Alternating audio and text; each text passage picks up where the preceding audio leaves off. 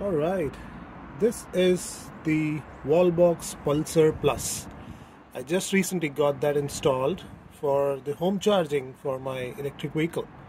And today we're going to review uh, what is this Wallbox Pulsar Plus, how good it is, and is it doing the work, the job required.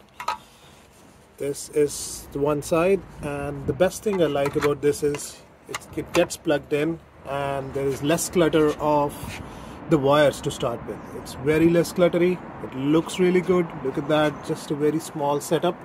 Looks really really amazing I think. And this color right now is the light green color which says that the wall box is locked. And we'll see that over the app as well. They have a very nice app. You can unlock the charger from the app. And after you unlock the color changes and then you plug into the car and the color flashes again I think it got gets blue which tells you that the charging is going on. But right now nobody can charge it until I unlock that. So that's a cool feature on the app. And this wall box is Bluetooth and Wi-Fi enabled. So uh, I can connect it via the Bluetooth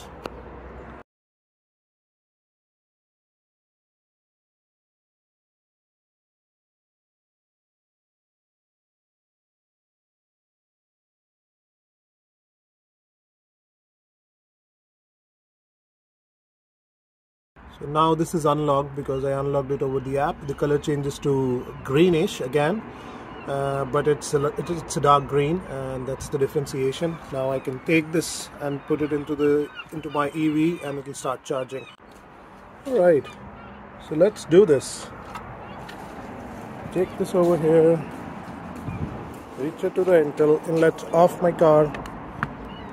This is Mustang Mach-E you unlock this and there you go. Simply plug this in. And this gives you an indication that it is going to start charging. As it has started charging now we can see the color has changed to blue. So the charger is doing its bit and you could see from the charging perspective there you go. That's charging. Alrighty